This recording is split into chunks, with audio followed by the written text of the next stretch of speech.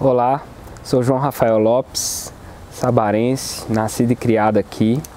Sou compositor, escrevo algumas coisas, é, sou produtor cultural na cidade há muitos anos e tive o prazer de participar né, do, do, edital de microcontos da Borrachalioteca e meu conto Amores Líquidos foi um dos selecionados e agora eu vou lê-lo para vocês.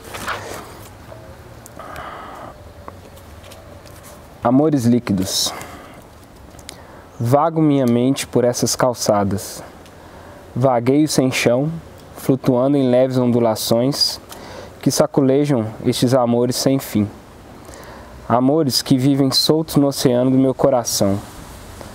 Amores que copiam as ladeiras, irregulares, imprevisíveis. São rochas negras, como as que se empilham na igreja inacabada são águas contínuas, imparáveis, como as que correm nas veias do Caquende. Me pego de mãos dadas, descendo pela rua direita, em um dia de sol e silêncio. Alguma buzina de algodão doce e trotes de chinelo pegando, pegando pão. Vou para a madrugada, já só, preso numa dor platônica ao ver aqueles olhos verdes de longe, seguindo a procissão que desafia o sono pela fé e que cadencia os batimentos numa vontade de sentir aquela lã. Viro sem rumo num beco, cai meus pensamentos nos dias de loucura. Escrevi canções e remei com timbres na direção de um doce sorriso que não se esvaía nunca. Sem me olhar, era acariciada pela brisa do rio Sabará, que levava minhas notas ao seu ouvido. Você me viu por dentro e mais uma vez eu só amei. O chão treme e a vista embaça, num balanço aleatório, numa reta torta que não sobe nem desce. Percebo um despretensioso pensar, pragmático, abraço que me faz confundir o amor. Me veio a enxurrada forte que desce a Vila Esperança e os grossos pingos que caem atrapalhando as pequenas brechas que se fazem para passar nos finos cantos dos passeios.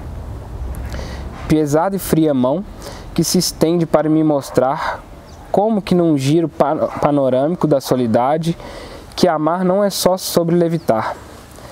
Pés no chão na vida real. Volta a me embriagar de gente subindo e descendo, parados no bar, esvaziando o resto de energia do dia. Renovo, recomeço, e amo novamente. Descentralizo meu corpo e entendo naquela sedosa pele morena o que é ser intenso. É tudo. Não tem si e não tem mas. A entrega é quase cega e é quase um parto. Me arrepio infinitamente por todo o corpo neste amor que só fez misturar ainda mais os amores dentro de mim. Foi como me perder nos vãos do, dos guarda-corpos do Teatro Municipal brincando com as combinações possíveis.